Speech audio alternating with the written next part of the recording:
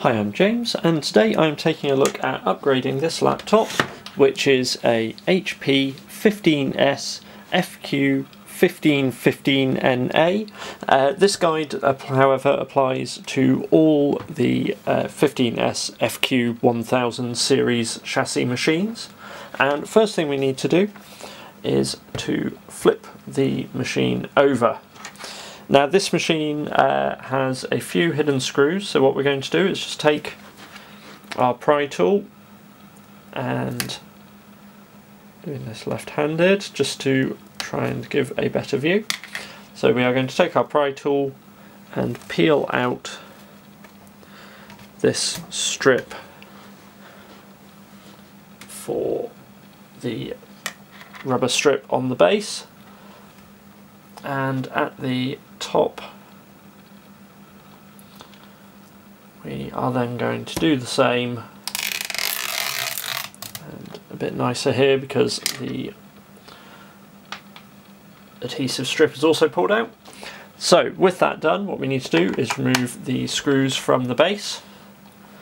So we have three here, two each side and then three at the top as well. Now this machine, I bought it as a refurb uh, and I'm going to be using it for some Ice Lake testing uh, that I want to get done. Uh, so I believe it has been opened up and had the main board replaced. Um, but hopefully things should all be as standard inside.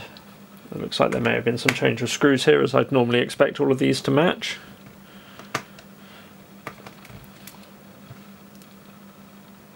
As normal, when I take these out, I just like to arrange them up here in the same positions as they came from. They should all be the same or similar size screws, but perhaps these back corner ones, which are black, are slightly different.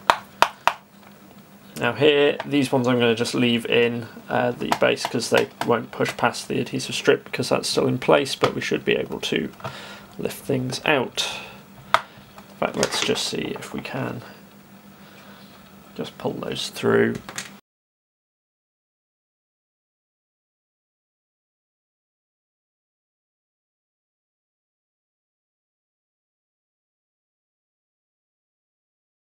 It's generally not necessary to replace this strip. It's generally, unless you get anything in it, it should retain its stick.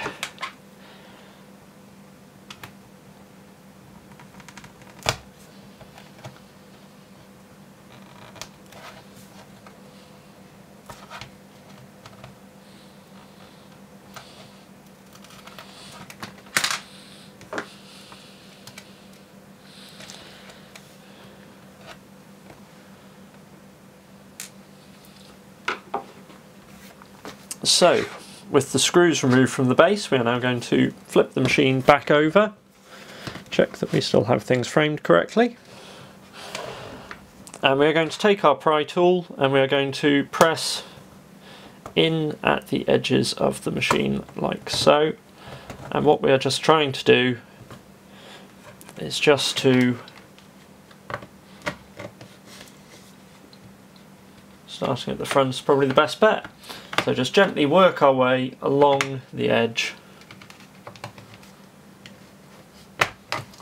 and begin releasing the base of the chassis from the top panel.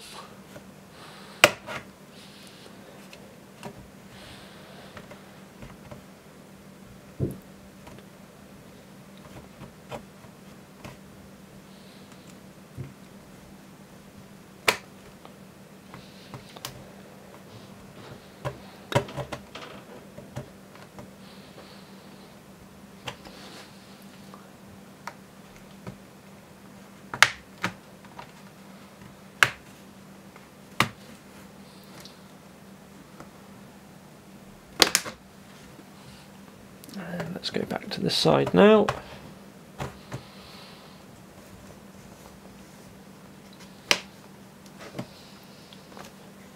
And now we're going to turn laptop over and starting in this corner as this is where things have released the best just begin to lift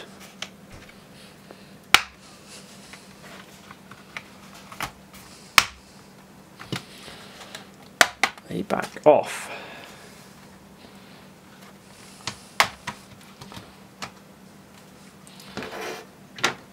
And with that done, that gets us inside the system.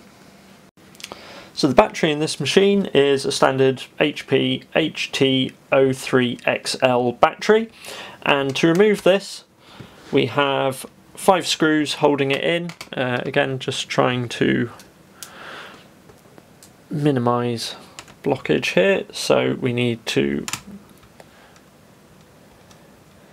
go around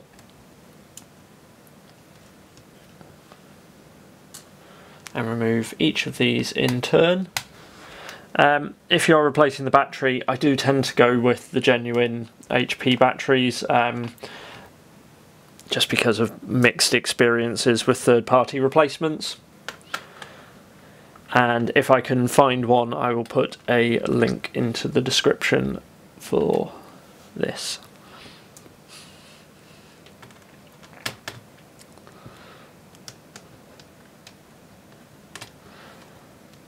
So with the last screw removed, we then just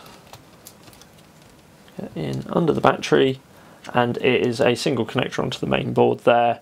So slot that off and our battery is out. Now the SSD in this particular system is only a 128GB model and you can see it is located in the M2 slot here. Uh, this particular machine has no hard drive. Um, if it did, it would be located here and there would be a daughterboard and cable which would fit in here. Um, generally, it is not cost effective to add these if your machine is not equipped with one.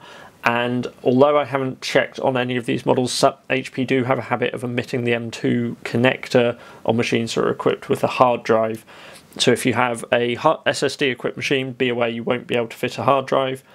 And if you have a hard drive equipped machine, you may only be able to fit a SATA SSD, uh, two and a half inch, and you may not be able to fit an M2. You would have to open up the machine and see if that slot is present.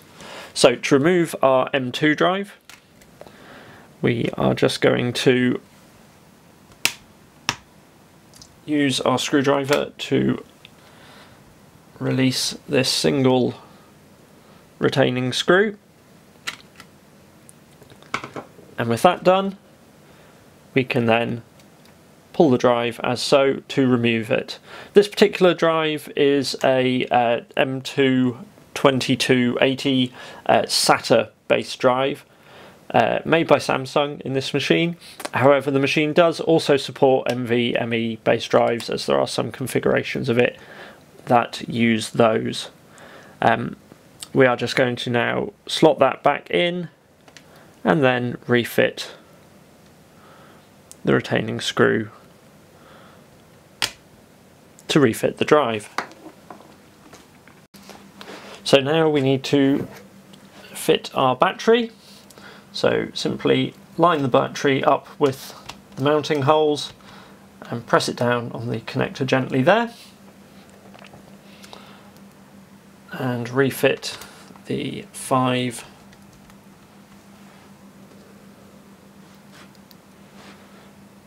screws holding it in place.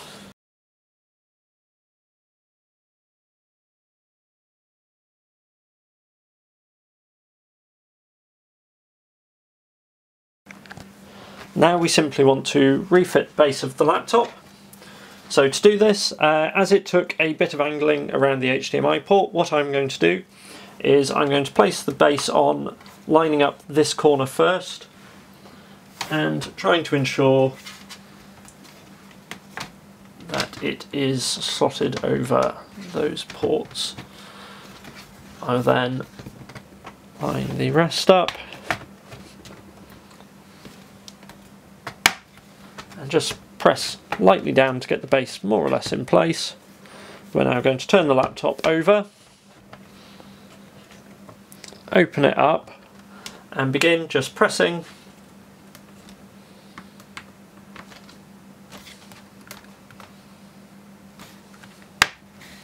So around the edges of the chassis to clip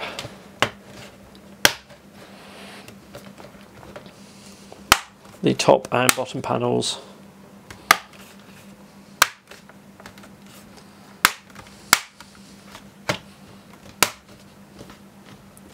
back together.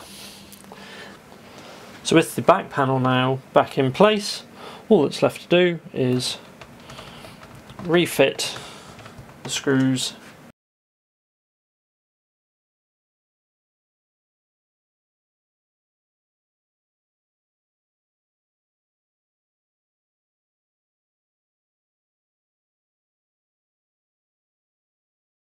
Finally, take the rubber strips, thicker one at the top here, and the way I find that it's best to put these in is to basically put in each end and then smooth the middle in uh, that way you avoid any bulges. And the bottom one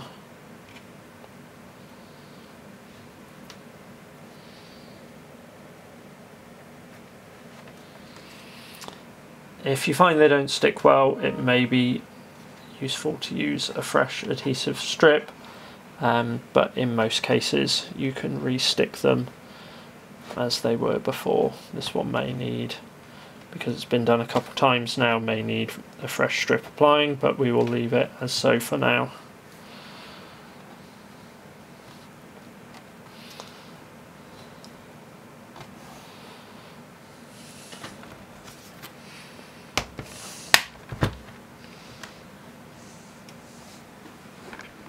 And with that done, our work is complete. I hope you found this video useful. Uh, do subscribe if you'd like to see more videos from us in the future. If you have any questions, just ask them in the comments below. And give us a like if you have found this video useful. Thanks for watching.